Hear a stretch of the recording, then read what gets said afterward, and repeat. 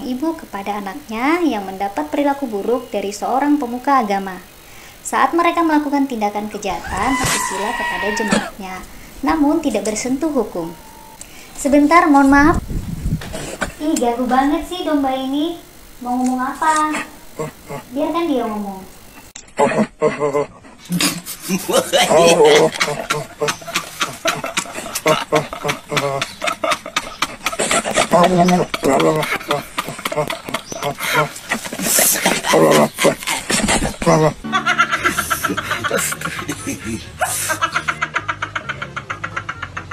Sumpah Mujaida tidak tahu domba ini lagi ngomong apa.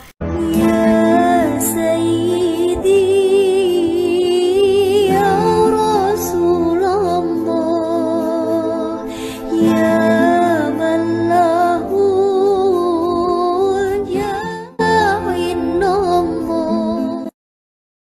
Assalamualaikum warahmatullahi sahabat muslim Jumpa lagi bersama dengan Mujahidah untuk bertanya dan juga menjawab soal agama yang kita ketahui dan yang tidak kita ketahui bersama, baik dan buruknya konten yang kalian tonton nanti, mohon disikapi dengan bijaksana.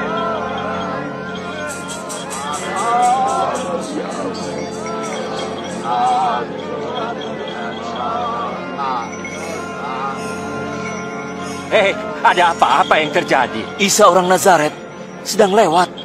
Siapa menyambut anak-anak ini dalam namaku, menyambut aku. Siapa menyambut aku, menyambut dia yang mengutus aku. Siapa terkecil di antaramu, ialah yang terbesar. Itulah ajaran Yesus. Katanya, siapa yang menyambut anak kecil sama seperti menyambut dia, begitulah kata-katanya. Tapi, apakah pendeta-pendeta mengikuti ajaran Yesus sebagai firman Tuhan menurut iman mereka?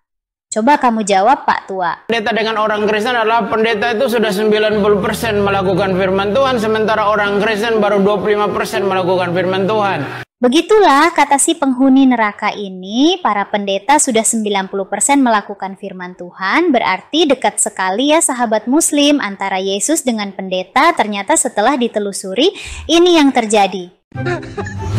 哎！哎！哎！哎！哎！哎！哎！哎！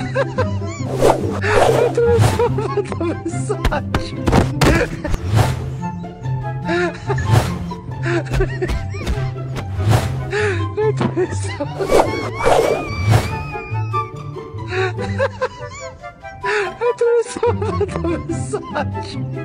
Ternyata begitulah pendeta menyambut anak domba 90% tidak sama dengan apa yang dilakukan Yesus di video ini. Dan pada akhirnya terjadi mukjizat, lalu pendeta ini yang disambut emaknya dari anak-anak ini.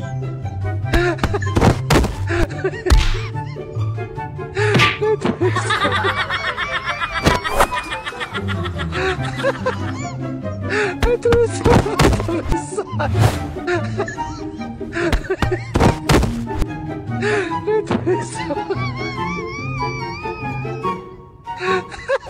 哈！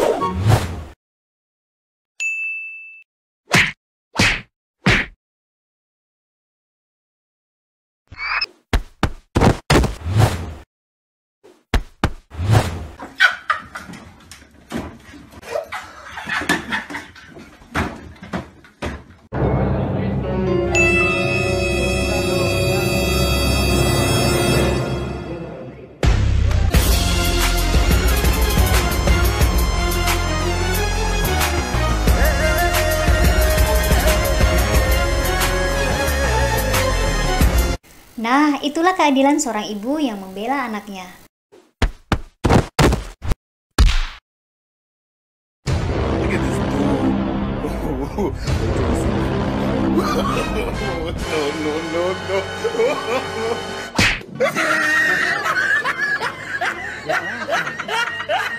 Ah, look at the top of his head.